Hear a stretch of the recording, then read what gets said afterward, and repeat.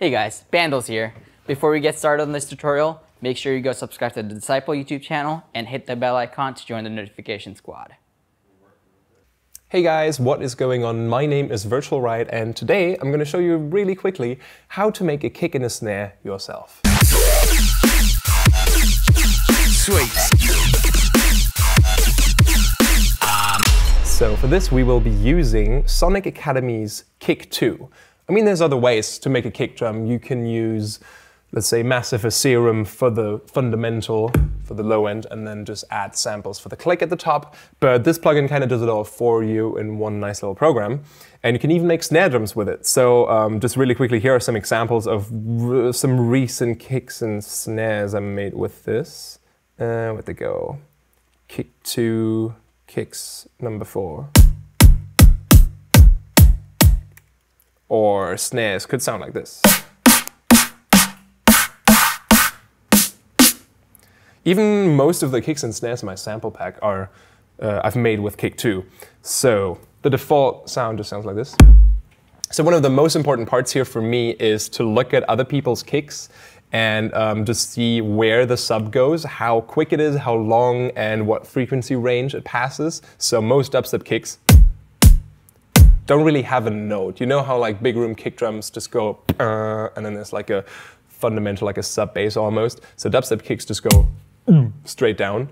Um, probably past like the 100 hertz a lot and then at 50 40 hertz you have already have like your sub going on so you don't want that to be too strong so we're just going to adjust this curve this fine-tuning can take a while but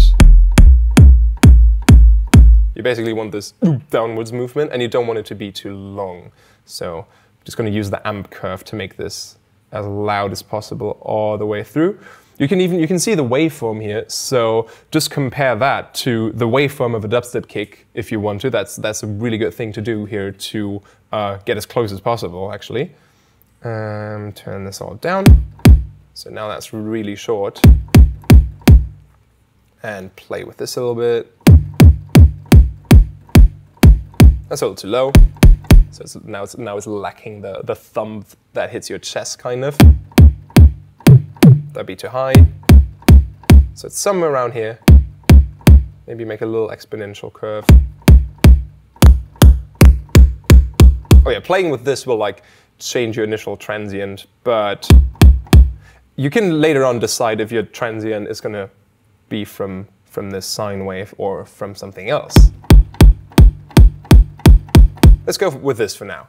So what we can do over here, and I really love this about this plugin, is you can select your own folders to be used as uh, resource folders for the clicks. So there are some factory clicks with some effects in there and some other stuff as well. Um, but they're not that useful. So what I did is, I have my user folder here, and for example, I have um, all the kick drums of a really old pack by BHK. It's just called um, Premium Drums. All the kick drums sound rather weak by themselves, especially from today's perspective. So they just all sound like, what is it, bass drums. Not really a lot of impact, but all this top end that's going on there is actually sounding really natural and I like it. So that's a good layer. So just going through this here, will give me all the kick drums of the pack. So what I'm going to do is I'm going to cut off the beginning of the sample.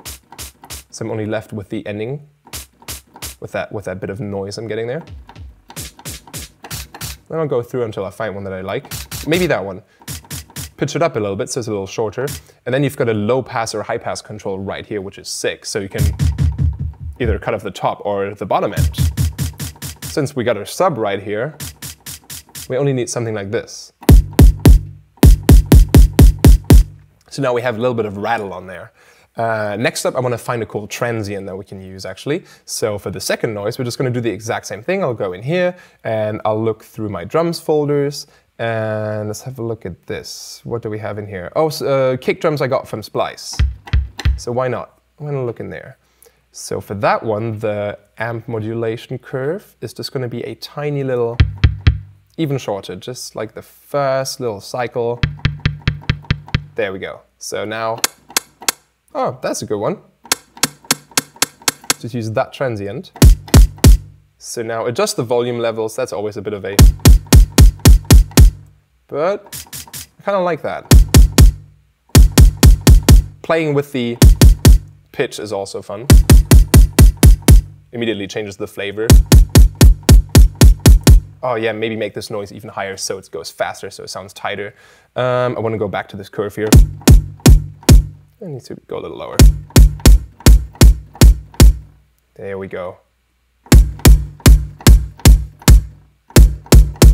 So the key here is the fine tuning of the low curve of the curve of your sub and finding some really cool samples to add as uh, your layers and your rattle to make it sound a little bit more natural. And then my favorite thing about this plugin is once you like your kick drum, just hit render down here and then you can just drag this out into your project and you've got your kick. Or even onto your desktop and you immediately have a file and you can start making your own sample pack, basically.